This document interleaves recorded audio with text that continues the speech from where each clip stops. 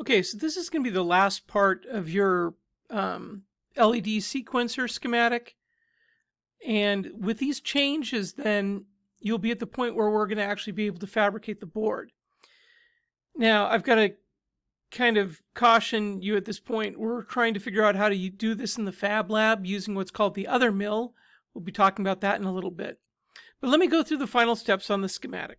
So at this point, your schematic should look something like this. Might be a little bit different, that's okay. Um, and from the previous video on part creation, you're going to add that little slide switch, which is called switch 1 here. Now, one thing you're going to need to correct to start with is the terminal block that I'd originally had selected for this project. The pads are too close together to work with the Othermill. And that's the milling tool we'll use to make PCBs. And so we need to change that. And so please see these notes. First of all, the part that I'm talking about is this part right here.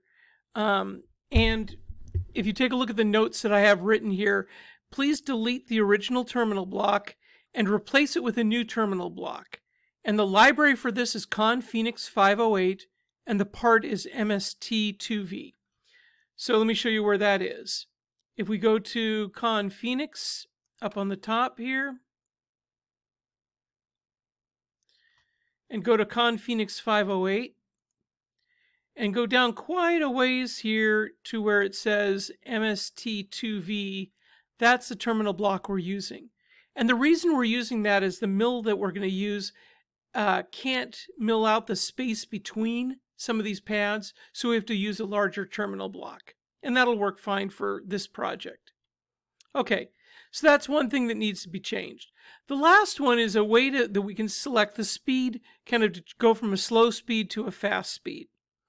And the way we're going to do that is to use the switch that we created in the previous video and I'm going to move that switch over here. And what we're going to do is select between two capacitor values. Now, how we're going to do that is by deleting some of these nets we have, like that, and moving this capacitor over here. And then I'm going to insert that switch. I'll turn the pins on just to make sure you can see where uh, everything's connected. So I'm going to use a net and I'm going to connect between that pin and this pin. And again, as just a general caution, some of you are missing connections. If you click on this eyeball show button and then click on the net, it'll show that everything is connected. It'll it's a little hard to see, but these uh, the pins light up kind of pink and the net shows that it's connected. So you know that's a good connection. Okay.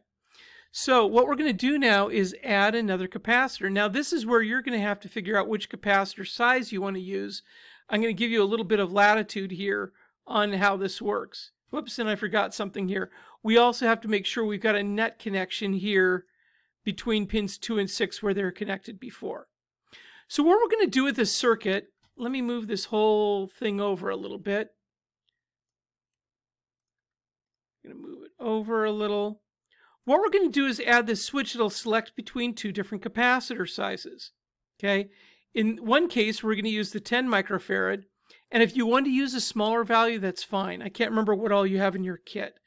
But if you want to have like a, a fast speed and a faster speed, what we're going to do is add that capacitor kind of like the way it was. And then what I'm going to do is add another net here on the top switch. and I'm going to add another capacitor. Now in this case, um, again, you'll have to actually do some measurements or check the spacing on the capacitor you want to use. I'll leave that up to you. We're going to go to the RCL library here.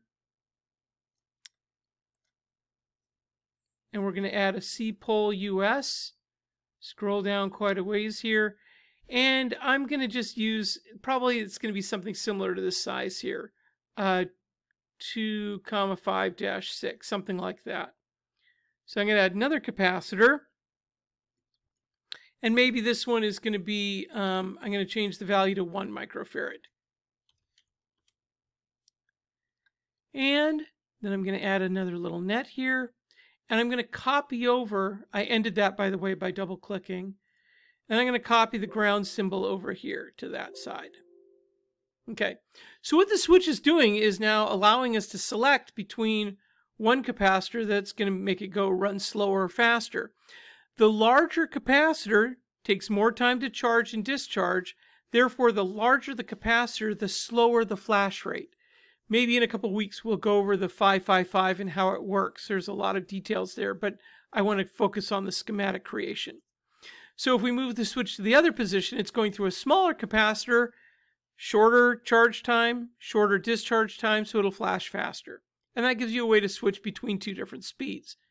Now, um, let's switch back to the board here, and I wanted to rip up the board before we started. Typically, you want to do that when you're making any changes on the schematic. Okay, so I ripped up this board by clicking um, the rip up button here. Whoops, that's route, sorry. Rip up, and then if you click on rip up and click go, and yes, that'll rip up all the signals on the board. So the switch, probably when you ran this, this switch was located down in the corner. So we're going to move it up to some position, maybe over here, and move this capacitor over here.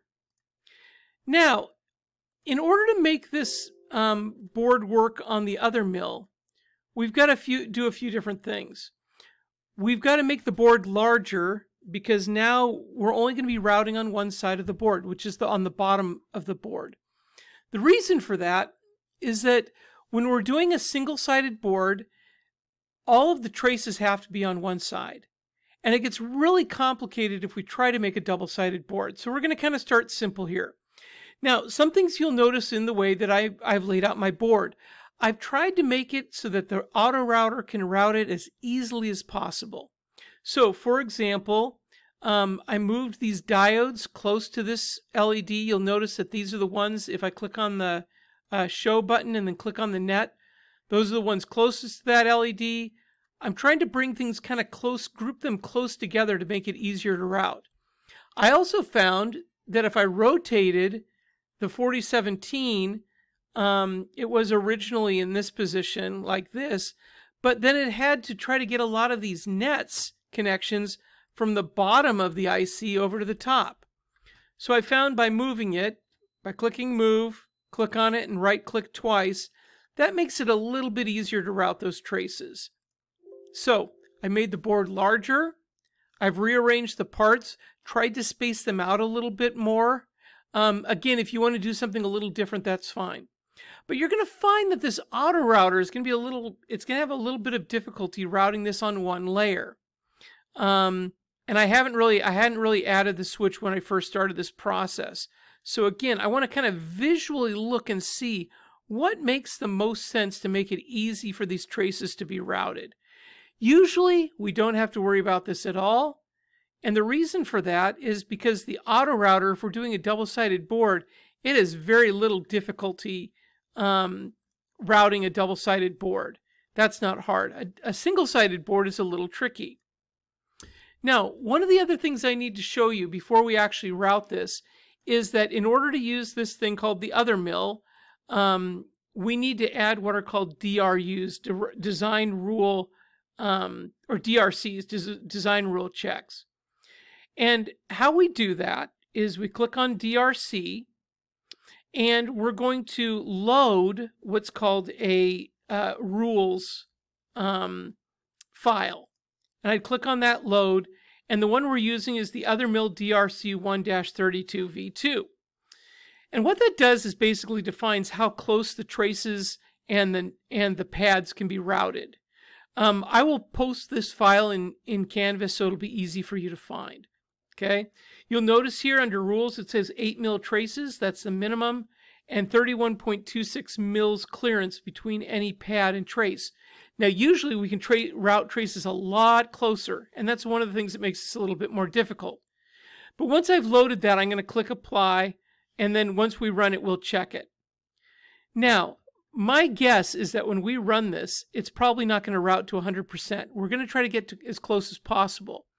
Um, but for example, I'm going to move these resistors over a little bit, leave some more space there. Um, maybe move this capacitor up a little bit, move the IC up or over a little bit. And you'll notice, like for example, here the traces are crossed. I'm going to right click that to try to make that a little bit easier for the router to route. Okay. Now I can kind of check this by clicking on this rat's nest button over here. When I do this, watch, and you'll see some of these traces move around a little bit. And it's showing where things are going to actually probably land as far as how it's routing it. Okay, so let's go ahead and route it and see what percentage we get up to. This will probably take a few tries. I'm going to route it. Um, by the way, for my routing options here, um, I'm selecting high effort. Um, probably not necessary, but one thing that's very important is that I am turning off the top router. The only thing that's going to be routing is the bottom, so all you'll see are these blue lines for the bottom traces. Oh, that's a little weird. Not sure what's going on there. Let me see what's going on.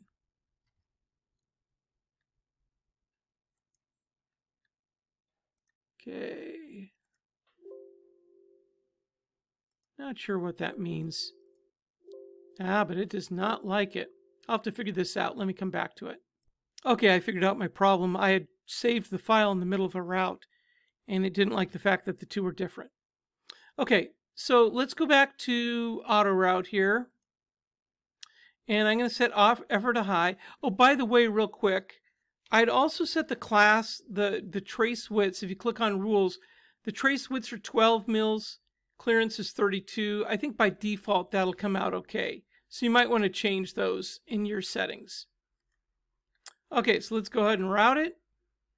And I'm going to put effort medium, save a little time. This takes a little time. And continue. And hit start.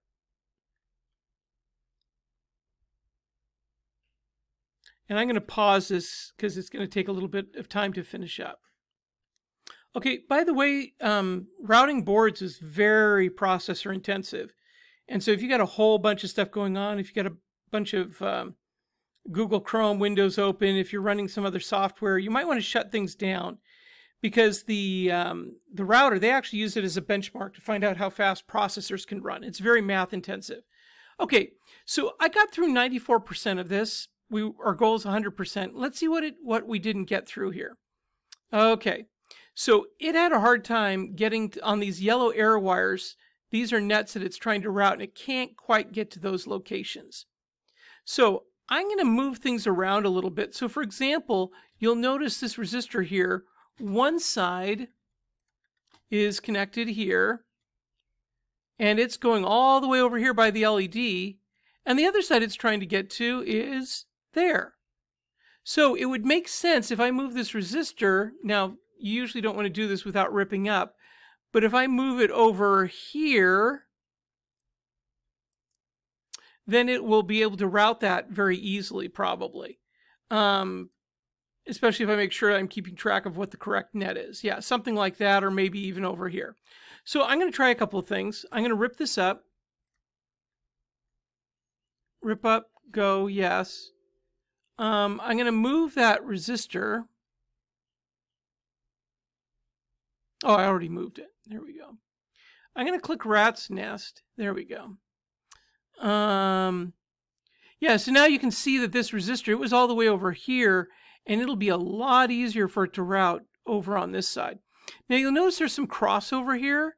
If I move this over here, and this one here, now I've eliminated some of the crossovers. That should make it a little easier to route for sure. Okay. The other problem I ran into is that this one, a couple of these um, nets over on the bottom for the 4017 are having a really tough time. So I'm going to make some more space for it. I'm going to move these capacitors over here, leave this switch down here kind of towards the bottom, run rat's nest, and we're going to run this again and see if we can get to 100%. If not, we might need to make the board a little larger. My board size right now is 3 point, if you take a look on the X and Y, is about 3.3 by 2.4. So let's, you'll have to make your board larger probably than you had it before. So I'm going to auto route it again. Let's see if we can get to 100%.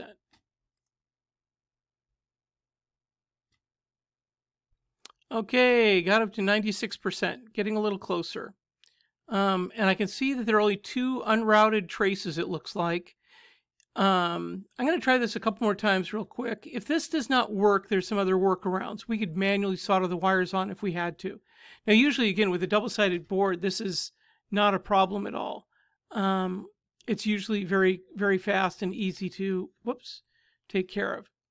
So I'm going to rip this up again. I'm going to move this capacitor.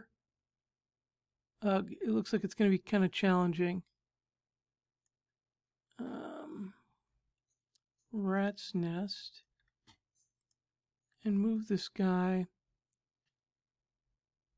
Let's just try moving this over here. I don't have a strong sense of confidence this is going to fix it. So we might need to just do a little shuffling around. Or maybe we can do it this way. Okay, I'm going to route it one more time. If this doesn't work, then we'll probably make the board larger. Um, and this is kind of what you're going to have to go through on your board. The goal, again, is to try to get it to 100%. If it gets only one trace off, that's okay. We can fix that. So I'll run it one more time. Okay, I finally got it to 100%.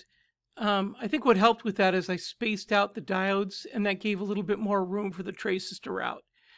Now, normally we're not going to have to worry about this so much, especially when we get to double-sided boards. But I'd like to see if you can add these last parts, the switch, the extra capacitor, um, change the terminal block, and then see if you can turn off, again, how we do that is if you look at the auto router, we're going to turn off that top layer and then just have the bottom, it could actually be set for auto. That might work a little bit better. Um, and then hopefully if you get that all done, uh, we should be good. We should get to a point where we can actually um, see if we can get these boards made. Now, a few things. On these boards, the silkscreen will not be visible, so that doesn't really matter. Um, and it's not going to be, it's going to be a little tricky to solder, but uh, we'll see if we can work through that. So go ahead and try to see if you can make those final additions, get it to route. Make sure, please make sure that in your schematic, you have run the ERC and there are no errors like disconnected wires. Um, these kind of errors are not a problem. But a few of you have some errors where you've got overlapping pins or no connections. And if you make the board, it will not work. We have to make sure that uh, the quality assurance part of this has to start from the beginning. So we need to make sure the schematic's correct, the board's correct, and then move on from there. Okay, if you have questions on this as, as we're, you're working on this this week, let me know. But I will post a video of uh, actually making this on the Othermill so you'll get a better sense of what that's like.